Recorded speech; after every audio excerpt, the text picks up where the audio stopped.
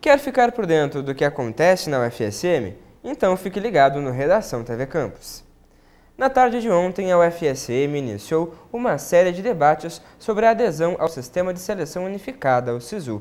O fórum contou com a presença de autoridades da universidade, alunos, professores e representantes de escolas e cursos pré-vestibulares. Para garantir que a comunidade se manifeste em relação à forma de ingresso na UFSM, a Pró-Reitoria de Graduação, em conjunto com o Gabinete do Reitor, organizou uma agenda de encontros com a comunidade. Ao total, serão oito encontros até o dia 15 de dezembro. O primeiro deles aconteceu no Auditório Audimax, prédio 16, do campus de Santa Maria. A abertura do encontro contou com a presença do vice-reitor Paulo Baiar, a pró-reitora de graduação Marta Adaime, o pró-reitor adjunto Paulo Manhago e o coordenador da Prograde Jerônimo Siqueira. Ele apresentou dados de outras instituições que já aderiram ao sistema, bem como a quantidade de vagas destinadas para as políticas de ações afirmativas dentro do contexto de implementação do SISU. Vinícius, estudante de Ciências da Computação da UFSM, participou da reunião para conhecer melhor o sistema.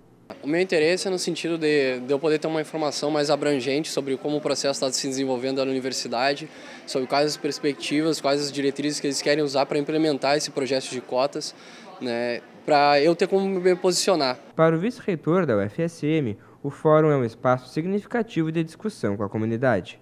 Nós entendemos que isso é importante para que conscientemente nós possamos ingressar num sistema em que seja mais participativo, mais inclusivo, que inclua é, todas as camadas sociais e que a universidade esteja mais é, junto, junta com o, o, a comunidade.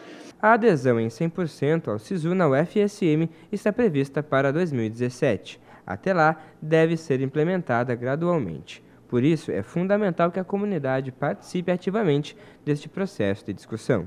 Acompanhe a agenda de encontros. No dia 1 de dezembro, o fórum acontece no auditório do campus de Cachoeira do Sul a partir das 2 horas da tarde. No dia 2, às 9 horas da manhã, é a vez da Escola Augusto Ruski, em Santa Maria. No dia 3 de dezembro, o fórum acontece às 7 horas da noite no auditório da antiga reitoria da UFSM. No dia 4, o encontro acontece no Colégio Manuel Ribas, em Santa Maria, a partir das 9 horas da manhã. No dia 10, será no auditório do prédio 67 do campus, a partir das 9 horas da manhã. No dia 15 de dezembro, o encontro acontece em dois locais. Às 9 horas da manhã é no auditório do campus de Frederico Westphalen e às 2 horas da tarde no auditório do campus de Palmeira das Missões. Na reunião do Conselho Universitário Cônsul desta sexta-feira, foi aprovada a criação da Agência de Inovação e Transferência de Tecnologia. O objetivo é fomentar o empreendedorismo na universidade e na região.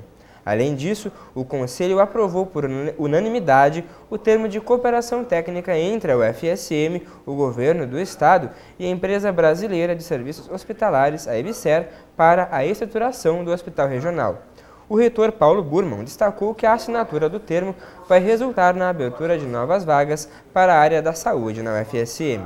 Pelo termo, a universidade também deve fornecer equipamentos para o hospital e contratar funcionários. O termo de cooperação técnica terá vigência de cinco anos.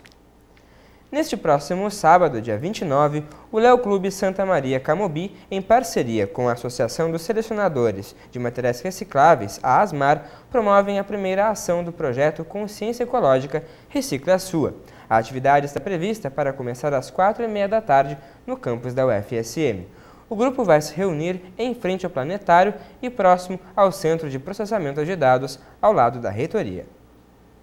Desde o dia 27 de novembro, os estudantes de Medicina Veterinária da UFSM têm a oportunidade de aprender um pouco mais sobre animais selvagens. Confira na matéria da repórter Vitória Londero. É no auditório Flávio Miguel Schneider, no Centro de Ciências Rurais, que acontece o sexto Simpósio Gaúcho de Animais Selvagens. O evento já existe há 12 anos em Santa Maria e é realizado a cada dois anos. Vamos promover então a discussão de todos esses temas envolvendo os animais, uma, um pouco também sobre zoonoses que eles podem transmitir, mas basicamente é motivar o pessoal que já trabalha, que são biólogos e médicos veterinários. A nossa equipe de palestrantes é mais ou menos 50% de cada um, que são os amantes dos animais na natureza e também é, visar, no final de tudo isso, uh, estimular também Uh, novos grupos de pesquisa com animais silvestres. Segundo a coordenadora do evento, a discussão em torno do assunto é importante já que a UFSM pretende desenvolver um centro de triagem de animais selvagens. O objetivo é tratar e reabilitar espécies apreendidas para voltarem à natureza. Santa Maria é uma região estratégica para isso, então tem apreensões em todo o estado, animais atropelados, acidentados. Nós temos uma excelente equipe cirúrgica no hospital veterinário e nós precisamos nos unir para fazer um trabalho apoiando tanto a Secretaria do Meio Ambiente quanto o IBAMA tanto no resgate, recuperação e soltura de animais selvagens. Com 73 participantes inscritos, o simpósio oferece palestras e minicursos.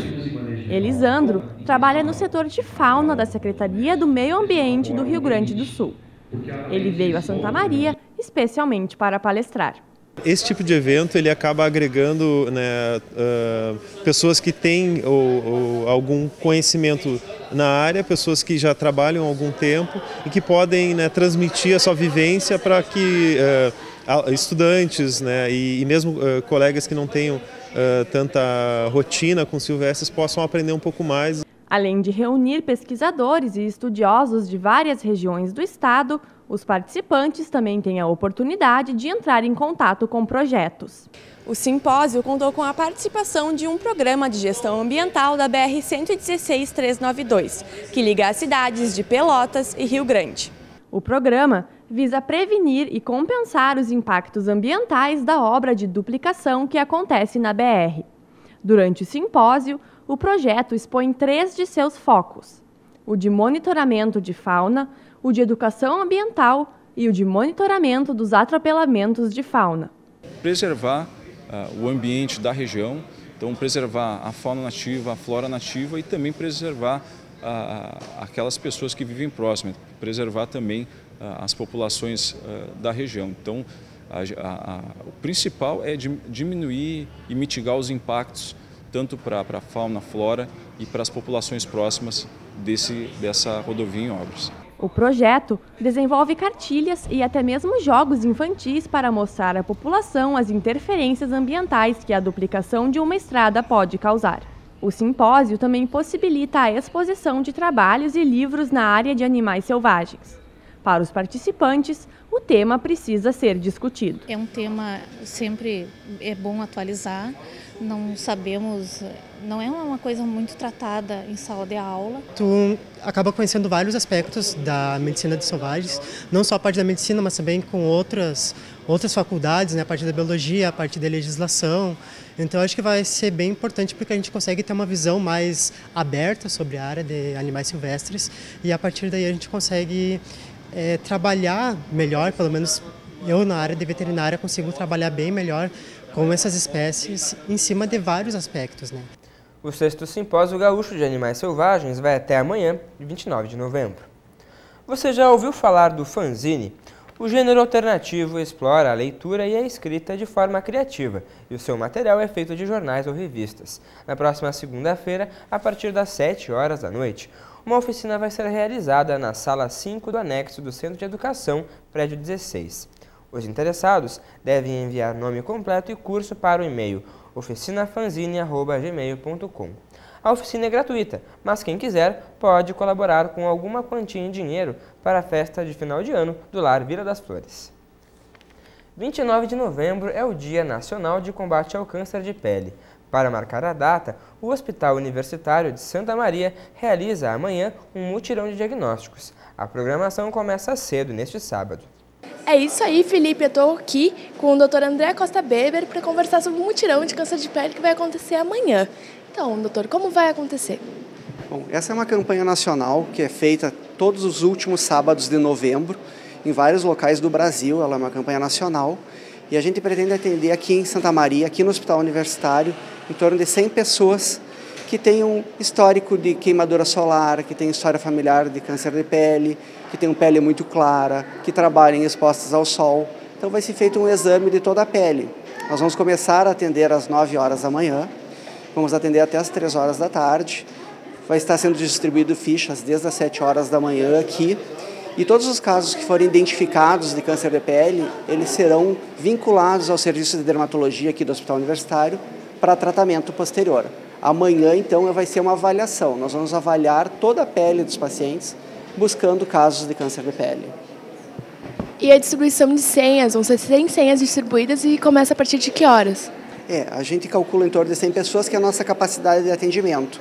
Já vai estar sendo distribuída desde as 7 horas da manhã e, como eu lembrei, será avaliada a pele, toda a pele do paciente e o nosso objetivo é informar sobre câncer de pele, identificar casos de câncer de pele, tornar esse assunto lembrado nessa época do ano, que é a entrada do verão, época que as pessoas mais vão se expor ao sol. Então, que elas pensem com cuidado, que não pegar sol em excesso, cuidar com os horários do sol, orientações sobre câncer de pele. Nós vamos distribuir material informativo também. Então, então fica o convite. Amanhã, a partir das 9 horas, começa o atendimento e a partir das 7 horas da manhã começa a distribuição de senhas para esse dia de prevenção e diagnóstico de câncer de pele. Daniela Sangali para a redação TV Campus, de volta no estúdio. Obrigado, Daniela. A partir de segunda-feira você acompanha diariamente aqui na TV Campus uma série de dicas para o vestibular 2014 da UFSM. As informações foram produzidas em parceria com o Pré-Vestibular Popular Alternativa. Fique ligado, é a partir das nove e meia da noite. Por hoje é só, um ótimo final de semana e até segunda-feira.